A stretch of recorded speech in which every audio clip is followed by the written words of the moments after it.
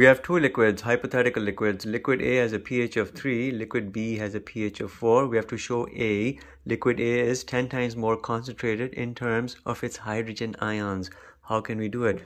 pH is equal to negative log H plus your hydrogen ions.